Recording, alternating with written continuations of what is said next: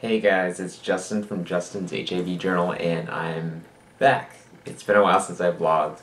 I know, but I've had a lot of things going on. This master's degree is kicking my ass. So, but without further ado, I have some good news on the forefront of HIV. So, the, according to the Washington Post, um, the World Health Organization, or WHO, has said that there's an estimated 35 million people around the world who have HIV, and about 1.1 million of those people uh, live in the United States, and some of them don't even know, many of them don't even know that they have HIV. But since 2008 2012, that is, I mean, sorry, they, they've actually recorded that it's been a, there's been a decrease in rates around the world in all groups men, women, whites, blacks, Hispanics, Latinos, uh, Asians, but um, and, and intravenous drug users. But there's one group that still has an issue with HIV with infections, and that is men who have sex with men or gay bisexual men. So all those groups have been, have seen decreased numbers in HIV, but except for gay and bisexual men, young men. In 2006, the CDC said that uh, was say, saying that pushing testing because it should be tested just like people go in and get tested for cholesterol. It should be tested for anything. Like, you know, when you go in for your regular checkup, that should be regular checkup. So they were pushing for doctors to do that for people with ages 13 through, I believe, 64. And so, yeah, 13 to 64.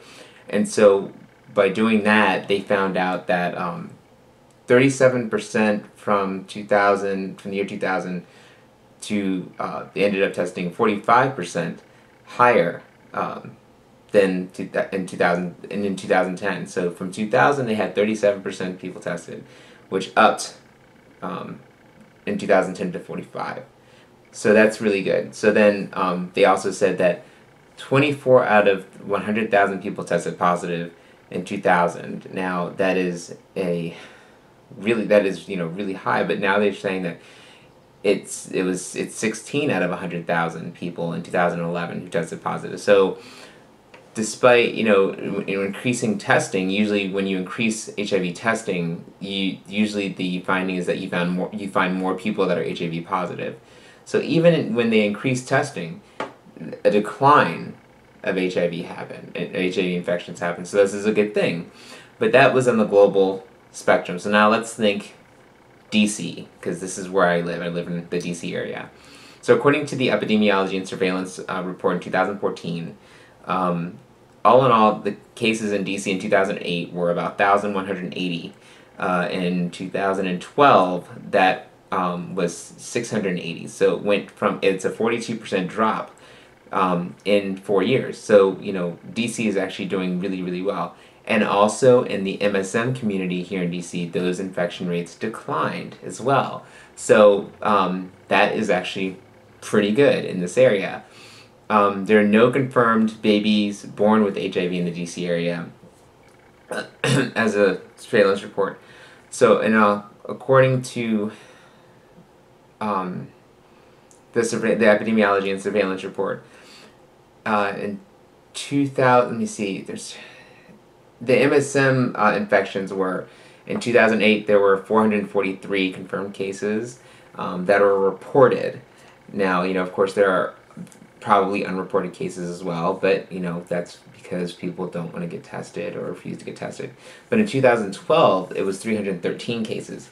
So that is a 29% drop um, since in, in four years' time. So that's really good in the area, in the in the DC area for MSMs or men who have sex with men.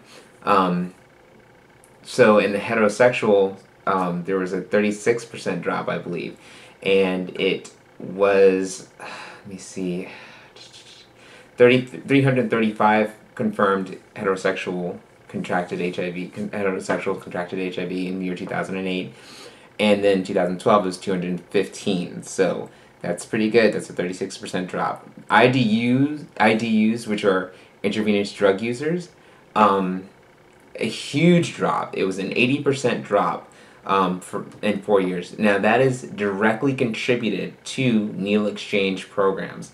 Um, I believe in needle exchange programs because, you know, as far as risk reduction, um, harm reduction, we need those programs. um, you can't stop somebody if they're going to do what they want to do. You can't really stop them. So here's the things that you might want to use to be able to prevent the spread of HIV when you're doing what you're doing.